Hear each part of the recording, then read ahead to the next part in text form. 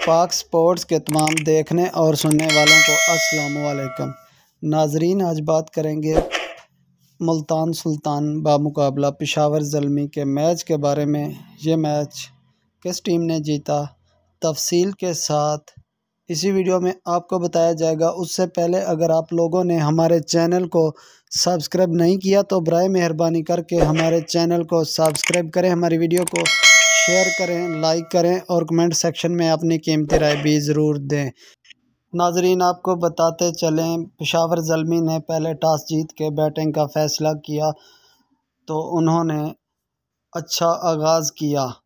बाबर आज़म ने sixty plus runs बनाए, पेशावर जलमी ने बीस ओवर में 204 रन्स का पहाड़ जैसा हदफ मुल्तान सुल्तान को दिया।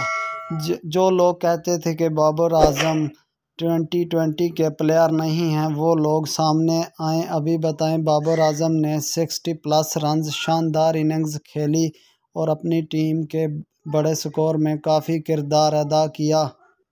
मुल्तान सुल्तान की बात करें तो मुल्तान सुल्तान ने भी बहुत अच्छी बैटिंग का मुजाहरा करते हुए 20 ओवर में 200 रन्स बनाए और ये मैच सिर्फ़ चार रन से पेशावर जलमी से हारे, लेकिन पेशावर जलमी की टीम प्ले फॉर मरहले में अपनी जगह पक्की कर चुकी है। जैसा कि आप जानते हैं, मुल्तान सुल्तान भी अब फोर मरहले में अपनी जगह पहले से ही पक्की कर चुकी है। नाजरीन, आप लोगों ने कमेंट सेक्शन करके बताना है कि फ़ाइनल किन दो टीम्स के दरमियान होगा और बाबर आज़म के फ़ैन वीडियो को लाइक और चैनल को सब्सक्राइब लाजमी करें।